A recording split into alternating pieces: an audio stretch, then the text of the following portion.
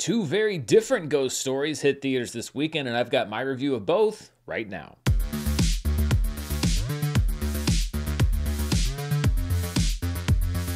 Hello, everybody. I'm Dan Murrell, and welcome to my review of Disney's Haunted Mansion and Talk to Me, the latest film from A24. Both of them are hitting theaters and trying to survive against the second week of Barbenheimer, and we'll see how both of them do on next week's charts with Dan. But let's first look at Disney's Haunted Mansion, which is, of course, based on the classic ride at the Disney theme parks. It's from Bad Hair and Dear White People writer director Justin Simien, with a screenplay from Katie Dippold, a writer on Parks and Recreation, as well as as a screenwriter behind The Heat, Snatched, and 2016's Ghostbusters. Haunted Mansion takes place at a, this is a shocker here, I know, Haunted Mansion, which is owned by Rosario Dawson, and it's a building who haunts anyone who dares to cross the threshold. A group of quasi experts attempts to exorcise the ghosts, including Lakeith Stanfield as a grieving physicist, Tiffany Haddish as a questionable medium, Owen Wilson as a quirky priest, and Danny DeVito as a professor with a love of ghosts. God, give us a break.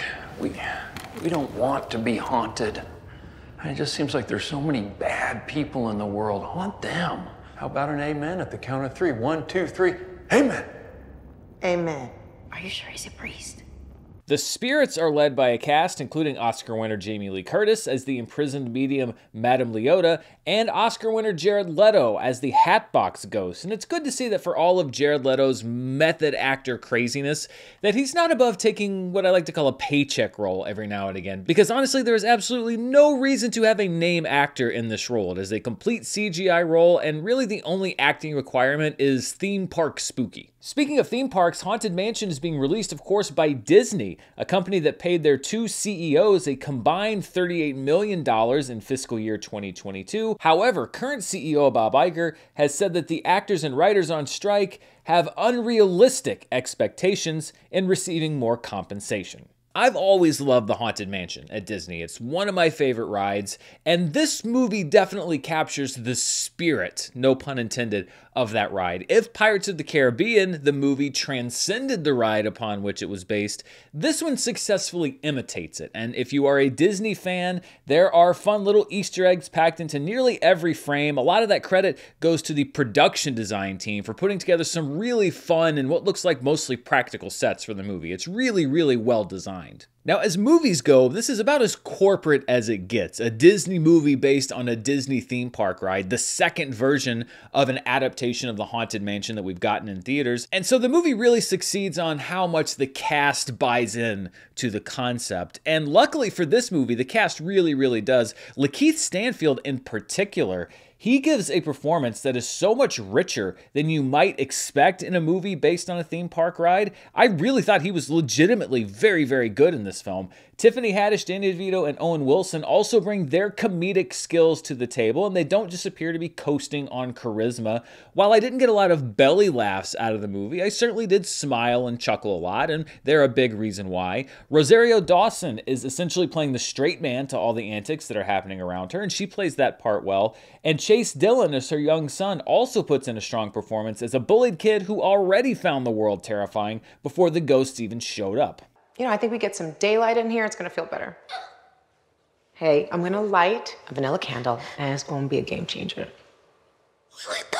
Now, not being in LA anymore, I don't get as many advanced screenings, which means the word from a lot of critics is already out on this film. And if you go just by the Rotten Tomatoes score that's out there, it may make it seem like this movie is a total waste of time. And I actually would disagree with that. It's good family fun, the kind of movie that may become an annual tradition every Halloween streaming on Disney Plus. The first two acts are clever, but the third act does devolve into the generic big climax that so many adventure films fall into. If the success of Barbie and Oppenheimer last week week proved anything, it's that audiences will turn up to the theater if you put a movie out there that is new and challenging and brings something unique to the table. And I can't quite say that Haunted Mansion does that. It is a really fun movie, but not something that you haven't seen a version of before. It doesn't stand out in the way, again, that Pirates of the Caribbean was able to do when it came out 20 years ago, in that it is based on the ride but does something completely different or takes a unique twist on that. This is really just everything that's fun about the Disney ride in a movie. And when it comes to my recommendation, I would say that it rides the line between it's fine and it's good. And you know what? I'm actually going to tweak it just over that it's good line. But as so many movies have found out, being just fine or good enough really isn't good enough for lots of audiences this summer. I mean, there are movies like Mission Impossible Dead Reckoning Part 1 that I thought were really good that audiences aren't turning up to. I think maybe the reasoning for putting it out in the summer was that they did want it on Disney Plus for the Halloween season, but I think this movie would actually have performed better, or at least I could say it probably wouldn't have performed any worse than it seems to be on track to if Disney had put it in theaters on Halloween and let people stream it next year. But for whatever the reasoning is, I don't know if The Haunted Mansion is really going to catch on this summer, but I did enjoy it. And if you are looking for something new, if you've seen Barbie and Oppenheimer and everything else in theaters, then I think you could do a lot worse than Haunted Mansion. Next up is a movie that's actually kind of the darker side of the coin of Haunted Mansion. It has a lot of things in common. It's from A24 and it's called Talk to Me from director brothers Danny and Michael Philippou in their film directing debut with a script from Danny Philippou and writer Bill Hinzman. And hey, look at this. These directors started out on YouTube where their channel RackaRacka has over 6 million subscribers. Talk to Me, as I mentioned, is also being released by A24, which is actually in production still on many of their films because they're not part of the AMPTP, and the producers on those movies signed interim agreements with SAG AFTRA that allowed the actors to keep working and the films to stay in production. So good for them. Sophie Wilde stars in the film as Mia, a daughter grieving the death of her mother just two years earlier. When a hand that allows you to speak to the dead begins circulating at parties, Mia sees it as a chance to potentially reconnect to her mother. But if the portal to the dead stays open too long, then the dead don't leave so easily, and what started as a party trick soon turns into a horrifying showdown as the lines between the real world and the spirit world begin to blur.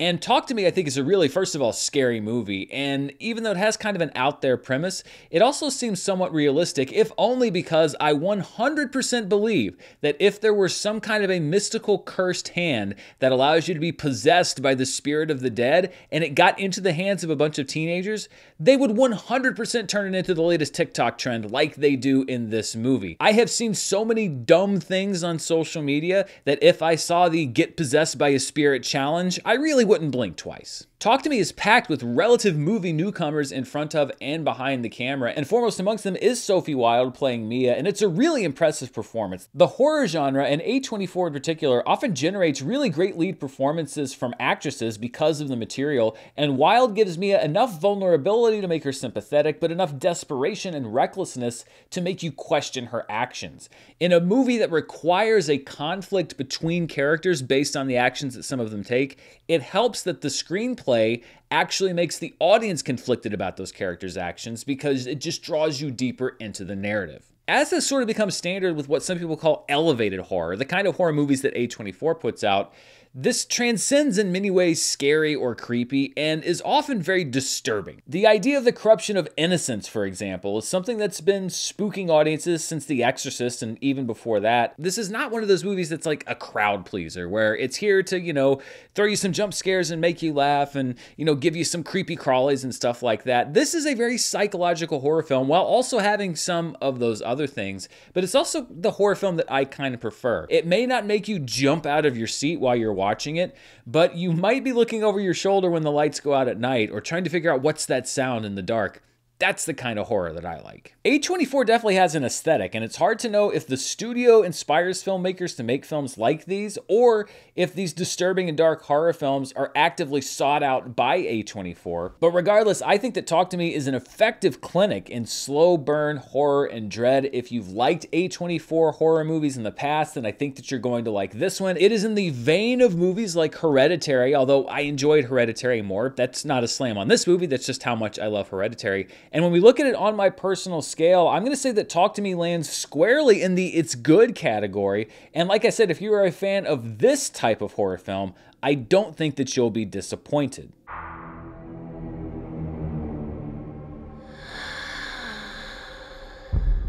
They like you. So, in the battle of competing ghost stories opening this weekend, I'm giving the edge to Talk to Me, although Haunted Mansion is, of course, far more appropriate for families and people that aren't into hardcore horror films. But what do you think? Which of these are you going to be seeing this weekend? Are you going to see both? Are you going to see neither and go see Barbie again? Let me know down in the comments below. And as always, thank you so much for spending part of your day here with me. Stay tuned right here on the channel. I'll have a full box office breakdown of all of these movies next week. I'm also working on an update video when it comes to the SAG AFTRA strike, talking talking about who is still filming, why they're still filming, and if there has been any progress in getting these talks done, and so much more right here on the channel. Thank you so much for watching. Until next time, stay safe, and I'll see you then. Bye.